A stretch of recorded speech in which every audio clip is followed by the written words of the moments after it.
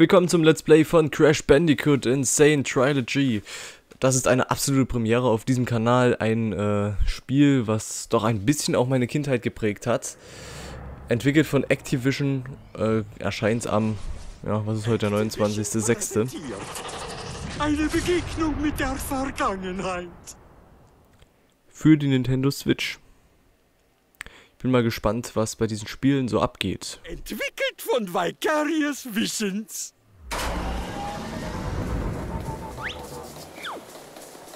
Es ist Crash Bandicoot.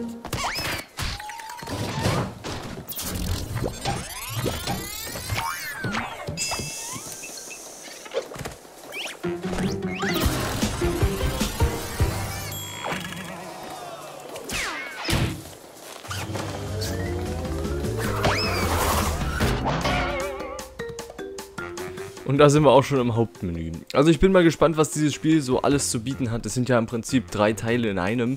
Und ähm, wir werden die uns einfach mal gemeinsam anschauen. Ich hoffe mal, ihr habt ein bisschen Bock auf dieses Let's Play. Aber ich denke schon. Von daher geht's los. Ich habe mir noch nicht überlegt, äh, mit welchem Spiel wir beginnen. Lizenz und Datenschutz. Mhm. Ja, ist okay. Stimmen wir natürlich zu. Es ist Crash Bandicoot. Hm. Es ist Crash Bandicoot 2. Cortex. Es ist Crash Bandicoot. Okay, äh, ich würde sagen, wir spielen äh, das Ganze der Reihenfolge nach und fangen mit dem allerersten Crash Bandicoot an. Oh, ich schaue mal kurz noch die Lizenz an. Aha.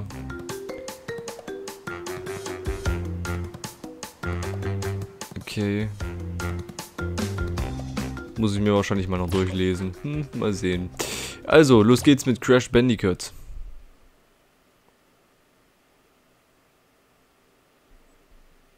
Ich habe das Ganze auch schon so lange nicht mehr gespielt, dass ich keine Ahnung mehr habe, was da so abging. Dr. Cortex, wir, wir haben die Ursache vergangener Fehlschläge noch nicht ergründet. Idiot!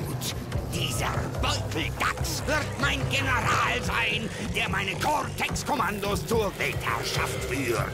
Dieses Mal werde ich triumphieren.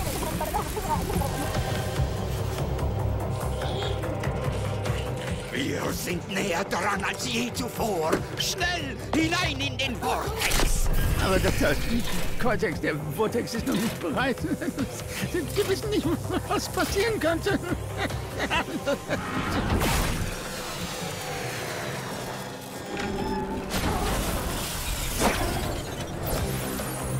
Wieder versagt.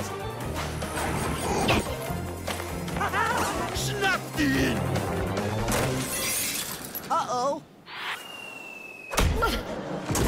Bereitet den weiblichen Beuteldachs vor.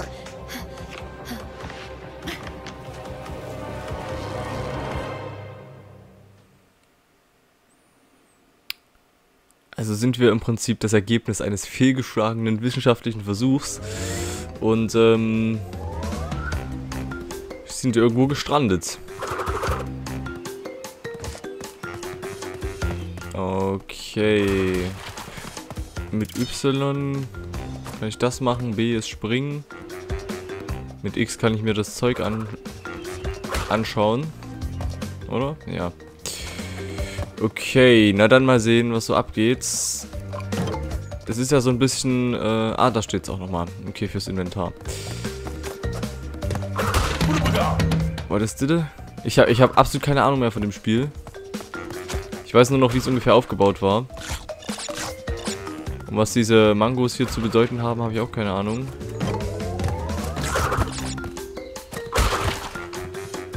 Gab es da noch irgendwas? Nee. Wow. Aufpassen. Ich will nicht gleich schon hier irgendwo sterben.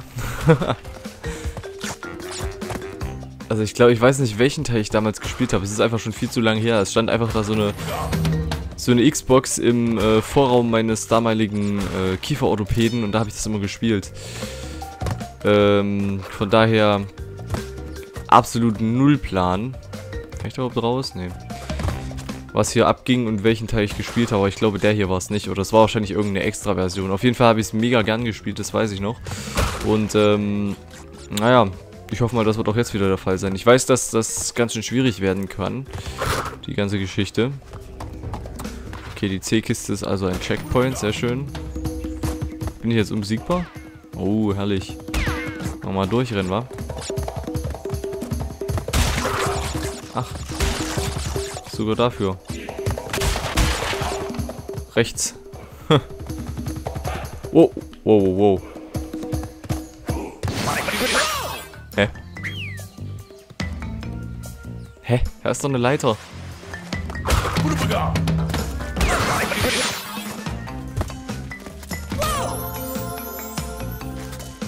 Hä, kann ich die nicht umwirbeln? Warum sterbe ich jetzt so oft? Das geht gar nicht klar. Ah, okay, die muss ich erst immer zweimal treffen. Obwohl doch, ich kann sie doch wegwirbeln. Warum hat das vorhin nicht funktioniert? Keine Ahnung.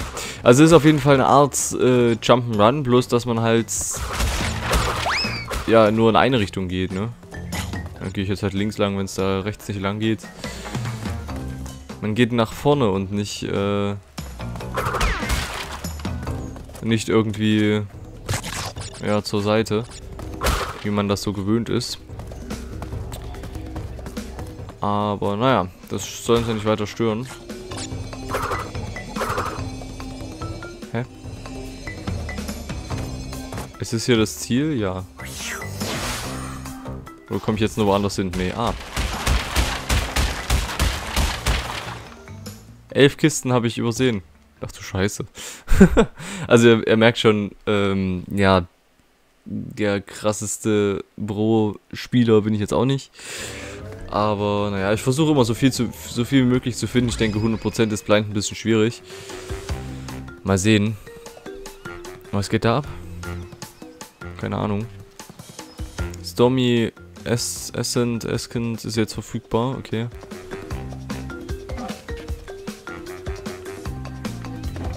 Kannst du noch weitergehen? Ja. Ach so, das ist, okay. Ne, das sind Bonuslevel, die man hier ähm, bekommen kann beziehungsweise die wir haben, weil ähm, das einfach in dieser Version drin ist. Ja, ich spiele jetzt einfach mal noch den nächsten Level. Die gehen ja recht schnell, zumindest noch. ja, mal sehen. Inwieweit wir uns hier noch äh, kann man zurückgehen? Nein. Ich muss einfach nur einfach nur alle äh, Kisten finden Okay, da oben war noch eine bös versteckte Kiste. Was war das für ein Vieh? Kann ich die töten? Nee, oder? Ich weiß nicht. Bin ich jetzt schon wieder an was vorbeigerannt? Bestimmt. Ach so, ach, das steht immer da. Jetzt hüpfen wir da drauf. Ah, okay, ja, super. Jetzt kann ich die Kiste aber auch zerstören, okay. Na, ist ja top. Ach, die kommen da so einfach aus dem Boden raus, oder was? Wow. Wie mache ich dich tot? So, okay. Gut. Frage hat sich erledigt.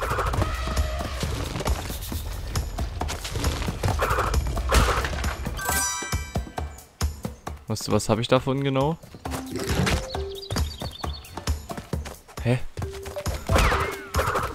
Verstehe das irgendwie manchmal noch nicht so ganz. Was da so abgeht von den Items her, meine ich jetzt.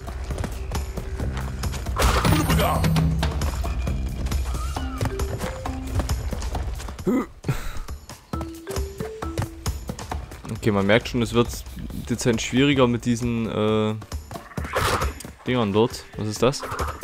Was hätte ich hier haben müssen, um da irgendwas zu reißen? Nichts? Irgendwas? Keine Ahnung.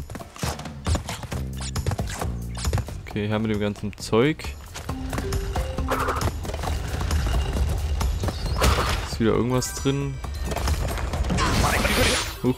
Achso, jetzt habe ich zwei. Und was, was, was genau bringt mir das jetzt? Kann ich dann als sie spielen? Oder wie sieht das aus?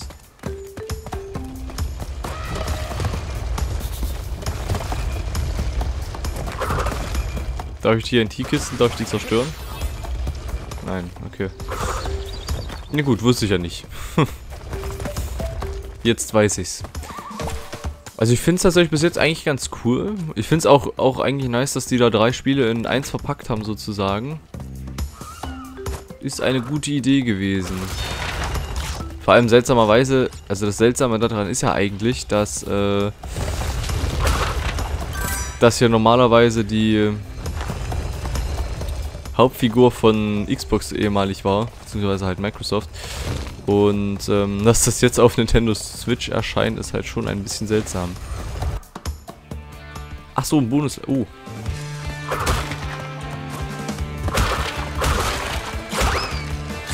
Ach, und sie steht hier, oder was? Hä, was soll die Scheiße? Mann, gib mir die zurück. die wollen wir doch retten. Das ist so die Prinzessin Peach des äh, Crash Bandicoot Universums anscheinend. Stirb. Kommt hier schon das Ziel oder habe ich noch die Möglichkeit, diese Kisten wiederzubekommen? Scheiße, das habe ich nicht gesehen. Aber da hinten ist eh das Ziel. Und ich habe schon wieder alles verpasst. Das habe ich nicht gesehen, dass genau nach dem Scheiß da nochmal eine Grube kam. Gott. So, wo war Inventar X? Ich habe 40 von 43 Kisten. Drei habe ich verpasst. Boah, das war extremst scheiße. Als ob man da instant stirbt. Ach komm. Ist doch lächerlich. Ja, du Kackvieh.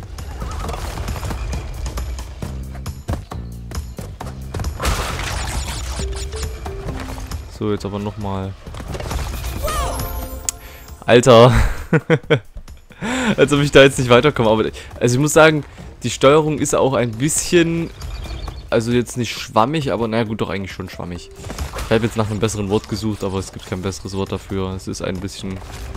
Ein bisschen schwammig ist sie schon. Äh, was? Bin doch volle Bude auf dem Kopf von dem Vieh gesprungen. Ich will jetzt hier nicht sterben, Leute. Hallo! Darf ich vielleicht auch irgendwie mal noch da drauf springen und leben? Ein blödes Vieh. Kann doch nicht sein.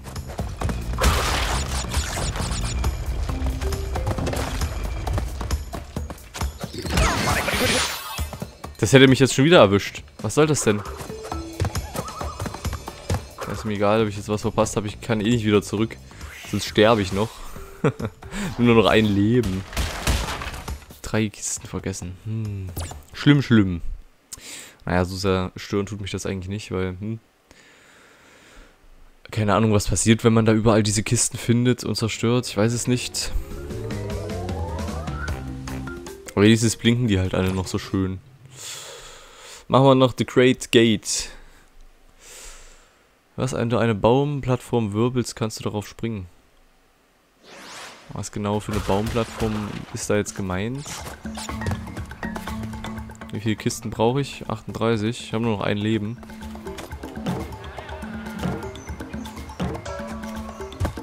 Huch. Okay. Erst hüpfen, genau, und dann zerstören. Jetzt geht es tatsächlich auch mal äh, so rum. Wow. Stirb. Kann man da nicht noch irgendwas Schönes für bekommen?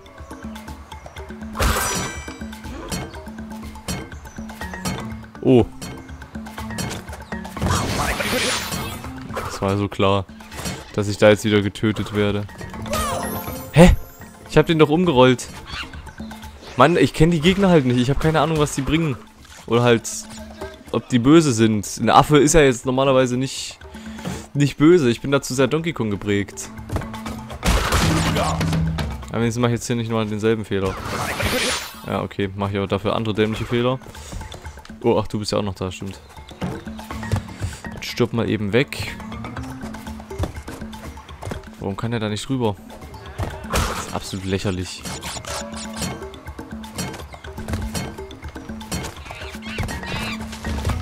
Hallo. Anscheinend kann man den nicht umbringen. So, aber auf das Vieh drauf. Da ist ein Leben, was ich gern mitnehmen würde. Danke, ich habe nämlich keine mehr.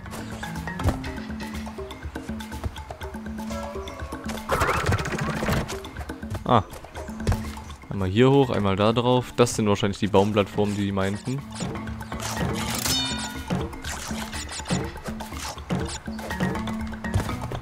Checkpoints, jawohl. Aber ich muss sagen, die Level gefallen mir jetzt auch nicht unbedingt besser, ne? wo jetzt, wo man hier doch äh, so ganz Stino Jump'n'Run mäßig. Ah, verdammt. Äh, wo man ganz äh, Stino Jump'n'Run mäßig lang macht. Weil, naja, die sind halt irgendwie schwieriger. Ja, hier immer schön kurz abwarten. Das ist schon das zweite. Ähm, 15 von 38. Ist okay. So bringt man die um. Was ist das jetzt hier? Ach, da rutsche ich ab. Okay. Das heißt, ich habe keine Zeit, mich irgendwo drauf einzustellen. Wow. Oh mein Gott. Man springt da immer so hässlich. Nicht mit mir, du Affe. Oh, weg. Weg, weg. Wow. Uh. Ja, äh, alles klar. Hilfe. Nice. Okay, nächster Bonuslevel. Mal sehen, was uns diesmal erwartet. Elf Kisten. Ernsthaft? Bin ich da gerade... Hä?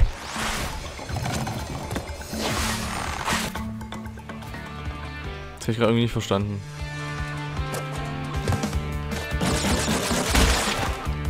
Ah.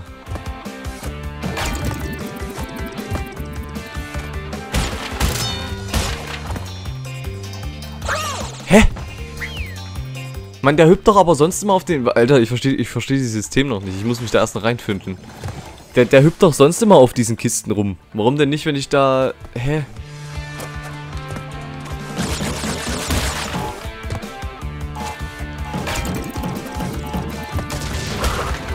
Ah, die muss ich auch zerstören, okay. Mann, geh doch da weiter. Oh Gott. Stell mich an wie der erste Mensch. Wenigstens verliere ich da keine Leben und man hat unendlich Versuche anscheinend das zu machen.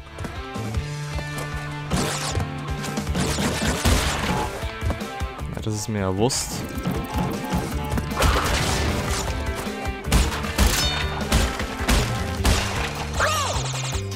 Der macht's nicht.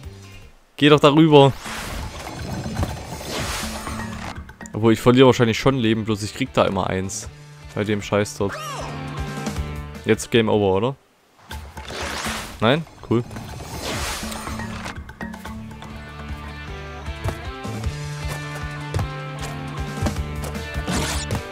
Mein Gott.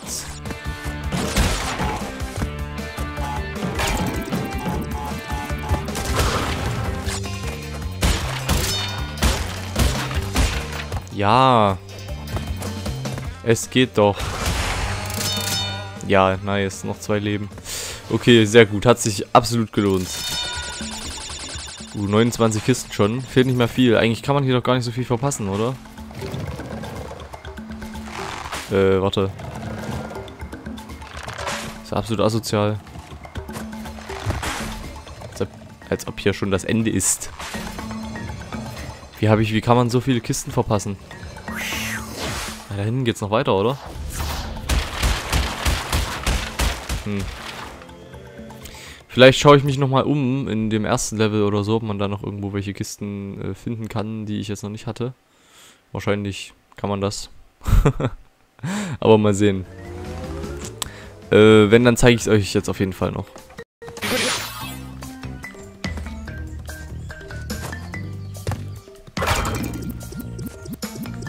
Ach du Scheiße.